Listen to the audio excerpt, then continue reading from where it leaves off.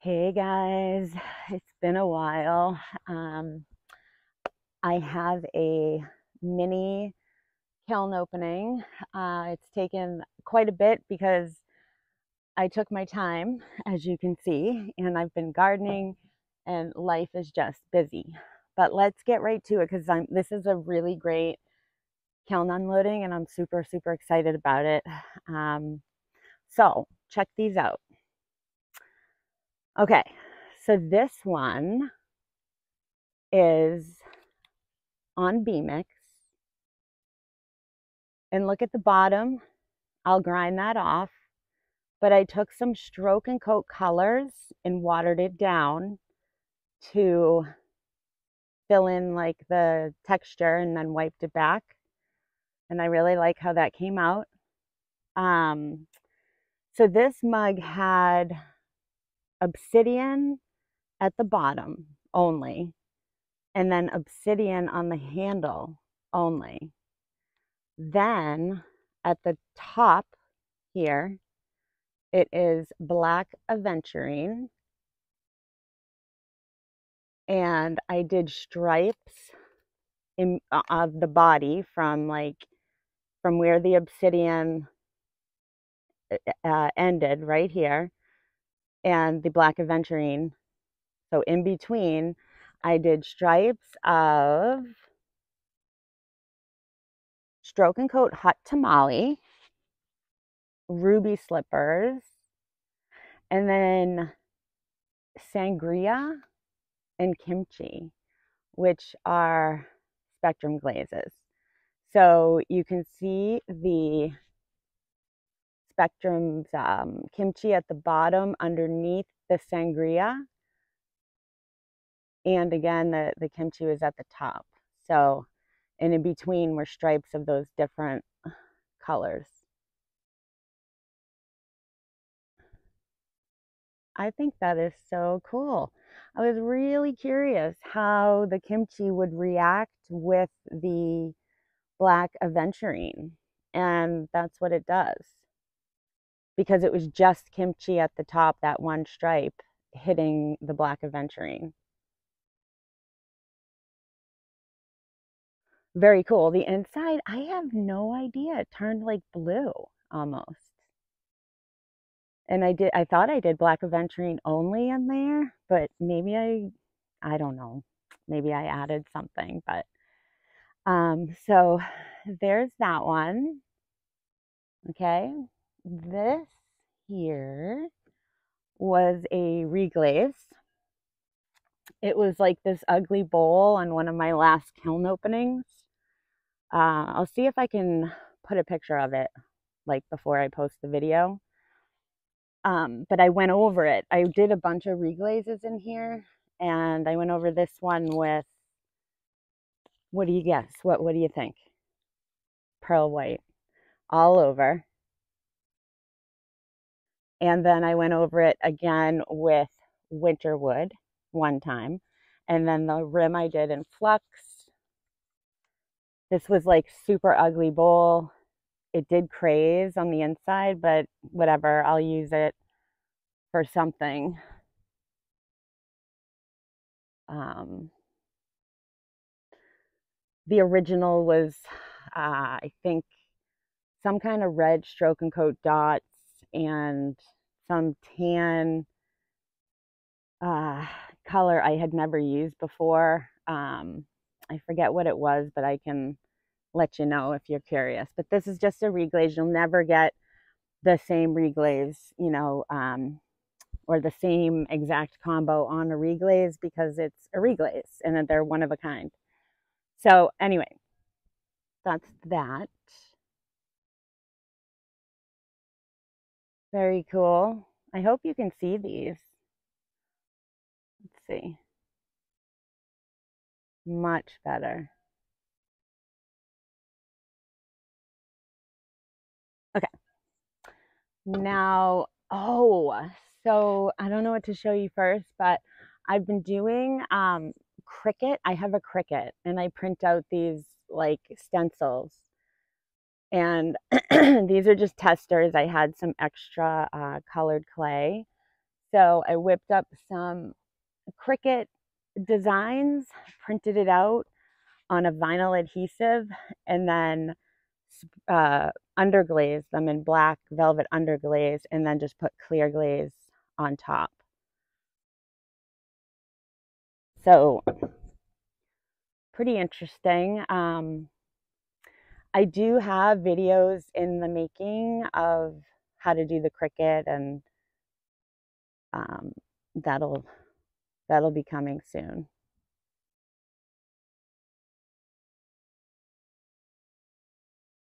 So that's a um, light blue and like it's supposed to be a red, supposed to be a red um, colored clay, but and it's B-Mix. Oh, and the inside is just pearl white. Look how pretty pearl white is on its own on uh, B-Mix. Here's the other one. This one kind of bled a little bit, so lesson learned. I think I went like too heavy um, on the clear over the underglaze and it kind of smeared that uh, that design, but that's okay. These were testers, just using up the colored clay, and then I did uh, pearl white again on the inside. I keep tapping the screen to see if you can, if it'll focus. And it did. All right. Um, there's that. Check these out. Oh my gosh. Gorgeous. I love the way these came out. Don't mind my dirty hands from being in the garden, um, but take a quick look. Wow. This was another experiment. Um, what I did here was snow just to here at the bottom because I was nervous that these would run and the snow will stop the running usually. Um, so what is on me? Probably dirt. Um, but anyway, so I have the snow here and then this is um, Flux Blossom. I haven't used that yet. So I did Flux Blossom. And then above that, I did a big stripe three times of blue rutile. And then above that, I did a stripe of sangria. And then above that, I did a stripe of kimchi. And the same thing on the inside.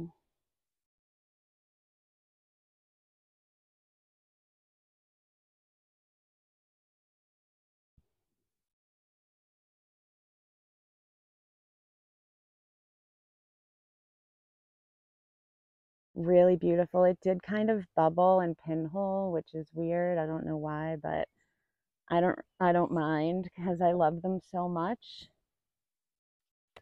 And again, this load was really just testing testing glazes.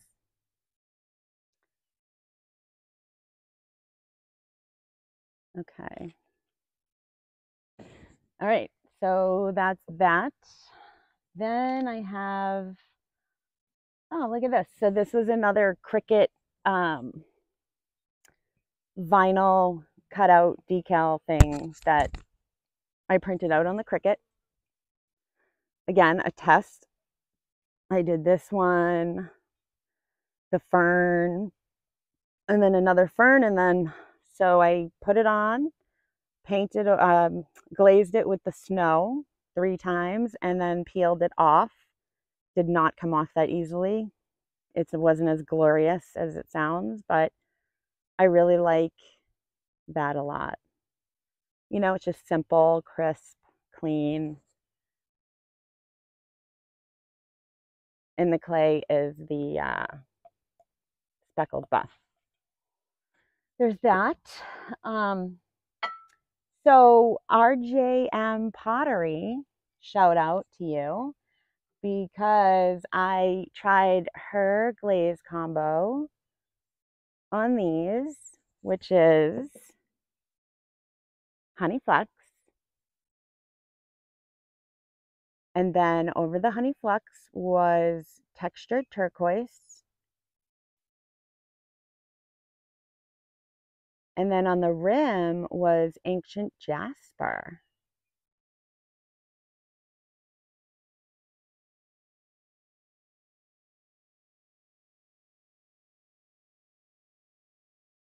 I love that. Thank you, RJM. Really beautiful combo. So I did that on that one. And then this little tiny bud vase that was like a flopped pot that I turned into a bud vase.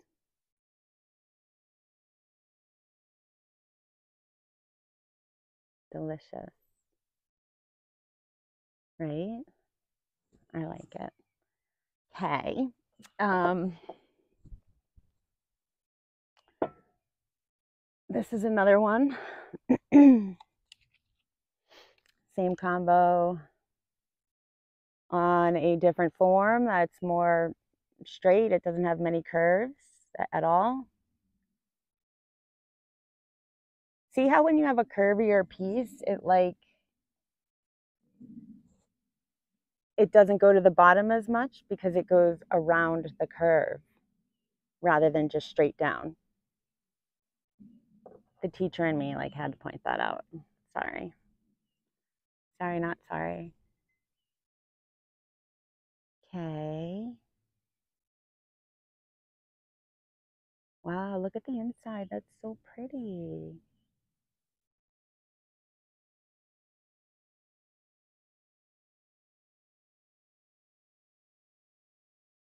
Okay. Um, what else? Oh. Want to see something really cool? Check it out. That makes me smile. For real. I love it. So, okay. Um, granted, I think I got some wax on that because see the bare spot? That's okay. I can refire if I want to. Um, again, this was a Cricut mandala uh, that took 10 years to figure out how to get it off. But there's a video for that. I figured it out. um, so anyway, so I got the design from the Cricut. Then I did the lines in a satin black, uh, a matte black by Amaco. And then in between the lines is gunmetal green by uh, coyote. How gorgeous. And then this was, the rim was just the black, that matte black. Again, just a tester. That breeze feels so nice. It is so hot here. So let's go up again, up close. How gorgeous. I'm kind of obsessed with this. It was worth the effort.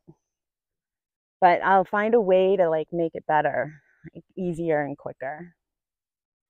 So this is probably my favorite piece out of this kiln. Um, I refired this plate. I don't know if you guys have watched the video on how to make this like artsy glazed plate, but it had a ton of pinholes. Um, so I just put it back in the kiln because sometimes that will get rid of the pinholes. And it did get rid of some of them, but not all of them. So that's fine. And then I um, refired another plate that was just pearl white that um, had so many pinholes and it cracked. Let me get it for you. It cracked in half I'm okay with that because again, it's just an experiment. But see how the um, the pinhole, this was really badly pinholed. And it's not as bad anymore. So sometimes it does like get rid of them completely. Like it did a good job. it just broke because I probably didn't use what I, the uh, uh, Michelle Dickey. I bought it. She told me what to use, and I didn't use it. The uh, it's the grog that on bigger pieces you can put it on the kiln shelf, and it'll allow movement during the firing. So this doesn't happen. Hmm. So next time I will take your advice, Michelle, and use use it. I think it's alumina hydrate. I think. This was um, also a reglaze because it had those pinholes. My last firing, my kiln got way too hot um, and things overfired and I had a lot of pinholes. But this one came out good on the refire.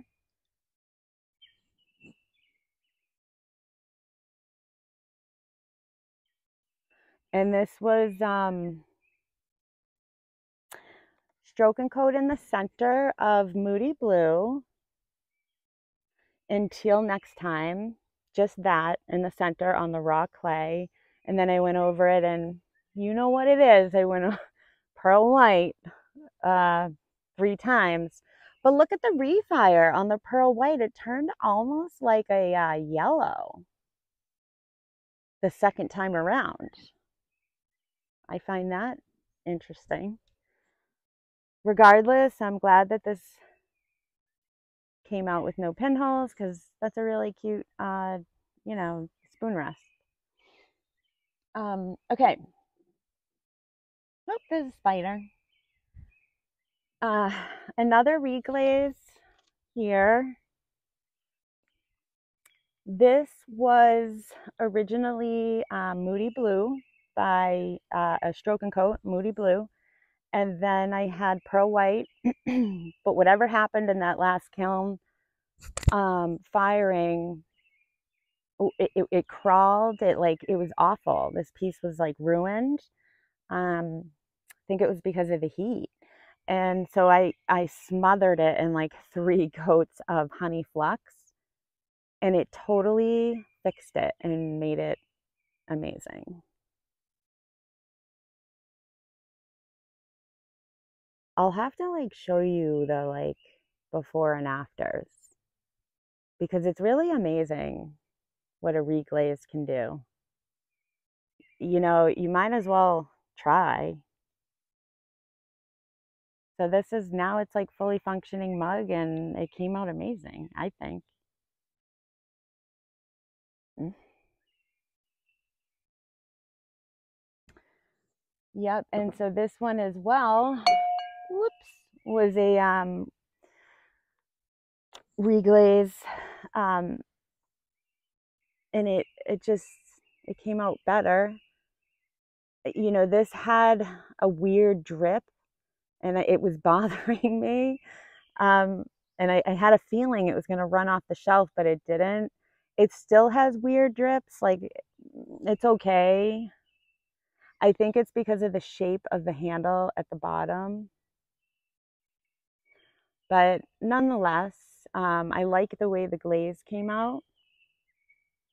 This was originally, um, what was it? Pearl white. This was originally pearl white, power turquoise, and cobalt. Um, and then the, the second firing, the reglaze, I did um, three times of honey flux all over.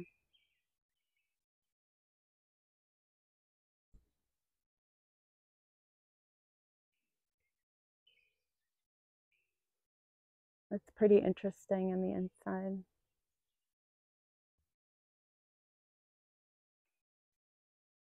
Really interesting. It's almost like, it almost looks like crystals in a way. Look at that. Can you see that?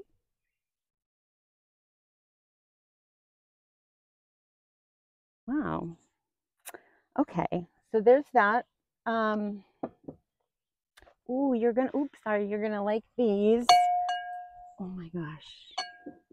Um, this, I did this combo on the speckled buff in one of my last um, firings, kiln openings. They had the, they were the jumbo mugs. There were three of them with the same combination. And they're a lot brighter. This combo is a lot brighter. This is, um, all, these are two spectrum glazes. So it's two times of holly green. And then over that is two times of textured kiwi fruit.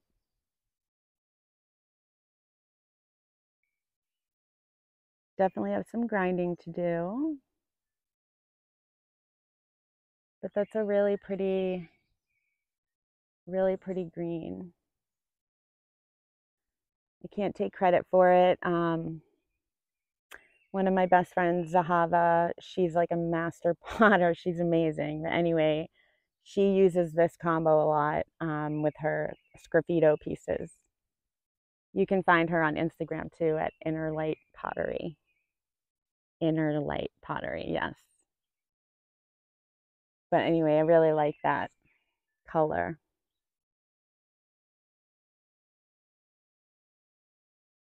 Okay, and then this was the the second the second one. But look at the inside.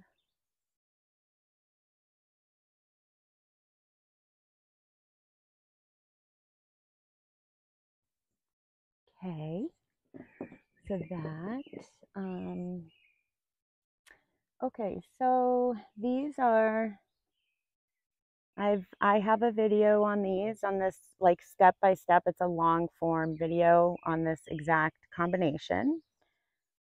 Um, comes out the same every time. And it did run, so I do have a lot of grinding to do, but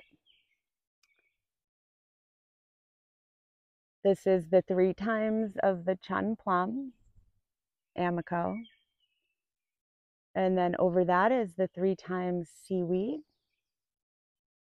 Amaco. And then a heavy rim of oatmeal and black aventurine.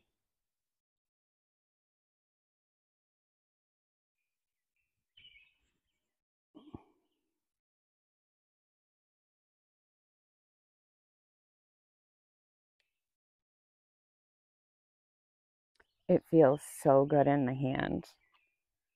I really love like the the little dimple.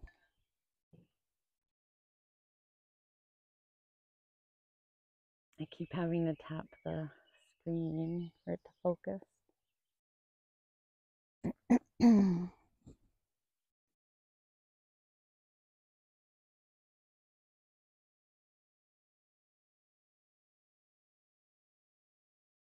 Look at that. Those striations are so pretty. And all my cones, like, I think I figured out my kiln. So they all came out around a six, six and a half. Um, and I'm really happy with that because that was pretty much the targeted temp. Um, so I have a friend whose dog passed away. Um, like last year and I'm, I just got around to finishing these. So we got his paw prints and I made a bunch of plaques. I have four of them.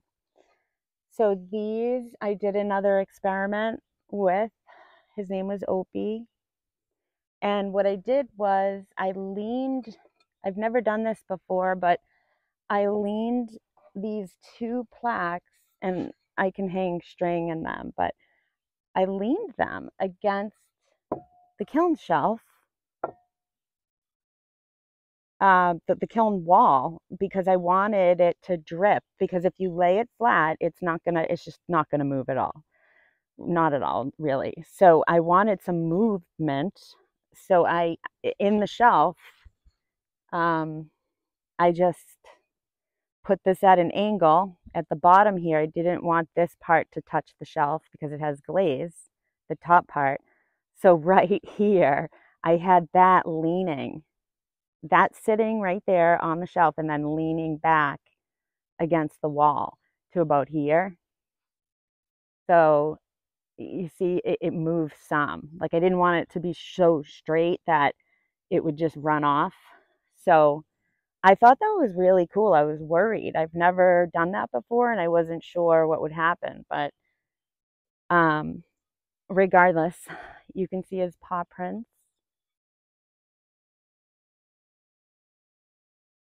And this is Honey Flux. Um, I first did on the raw clay where he wrote his name Opie. I put the Moody Blue and I just used a paintbrush and went like thin in some areas. I put it I put it specifically like in certain spots and then went over the whole thing with Honey Flux. That that came out pretty decent. I was worried about it. Um, he's going to be so excited. The family's going to be so excited. But check out this one. This one, uh, I I did manganese wash. Um, this one I did manganese wash in the little like nails of the paw. And that's a Mayco manganese wash. And then and then also like under underneath and in the opie up here i did that uh, moody blue and i went like light in some areas and heavy in some areas and then smothered it all in three times of honey flux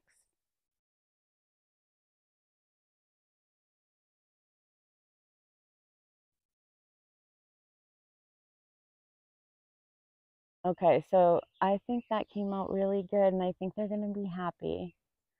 They wanted something blue. Um, again, I have trouble glazing like uh, flat pieces because, like I said, they don't move much. And you know me, how I like glazes to move. So, so as a backup plan, I made two more. I made four in total. And what I did on this one was just black underglaze wiped back. And uh, I went over it with Celadon Sky three times from Amaco. And I I haven't used designer liner yet. Oh no, sorry, this one doesn't have designer liner, but the other one does. This was just the underglaze and the um, sky but I, I bought designer liner from Mayco. I've never used that before, and I tried it on this one. So the on this one, um, we made sorry, we made uh, two for Opie and two for Brutus. So Opie, uh, one of them has passed and one of them has not, but he's he's old, so we got him both. So for Brutus, um, I did Celadon Cobalt in the paws wiped back, went over it with Sky Celadon three times. And then I went over it with this designer liner, this black designer liner. I did the Brutus and the date in that. And it kind of bubbled, the uh, designer liner. Maybe I went too thick. I've never used it before. Um, I, I don't mind that it bubbled. It's not bad, but you know what? I actually like this. You can see the paws really well. Um, I should have made, actually, I did make one from, we lost our Maxi. Um, it's another thing. Like, I haven't been around. It's just been crazy. We lost two dogs this year, like one from um, cancer randomly, like uh, just lymphoma. He and he was four. He passed away at four. Um, it happened fast. He got sick. It was awful. And then like a few months later, we lost another one, our oldest. So um, I do have a plaque made for for Maxie, the most recent one. Um, so anyway, it's just been a lot, you know. Oops, sorry. Um, but yeah, so uh, that'll be in my next kiln unloading um, Maxie's, you know, Maxie's plaque. so there's that. Uh, I, okay, the last few things I have on this little mini kiln opening is another test of, um, so this is speckled buff with, with colored clay mixed in. Um, I try, so I did the, another Cricut design there. And then on this one, I did a clear, shiny clear over it. I use uh, Speedball. Speedball clear. There's nothing really to write home about here. I just wanted to see what the difference would be between the shiny clear and the matte clear, which mattes are tough uh, the clears because they leave a residue and it's like I, I'm yet to find a clear that's like clear as a matte finish. If anyone has suggestions, I'd love to know. Um, so, but on this one, I did that matte, which is pretty decent. But you know what I did? I literally did like one coat, like the the thinnest coat you can imagine. And then I went, I took my finger and like a little like brush and like kind of got some more of it off just to have like the thinnest one layer. It, it you know, that kind of worked out nice. Um, yeah, that's what I did there. And the inside was a shiny, clear, glossy, clear. Just so you could, you know, see the uh, colored clay better. So those are like the Cricut things. Interesting. And then um, there was that last piece in the back. This last one here is a reglaze. The original uh, glaze was the uh, matte white. Matte white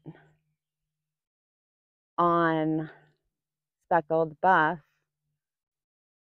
and I didn't put enough coats the last time and this time I, I added another couple of coats and that's how it came out. I really do actually like this. The feel is so soft and nice. So it's basically snow, but it's like matte right? So it just depends on the like the look you're going for. This was a flopped pot anyway, so I just made it like through some stamps. I don't know. I was playing around, and hey, why not? Figured I'd fire it and use it as a test piece. Little little tea mug. So that's it, guys. Um, let me know what you think and what were your favorite pieces and um, I'll see you next time. Miss you so much. I will um, be posting again hopefully soon. All right. Talk soon. Bye, guys.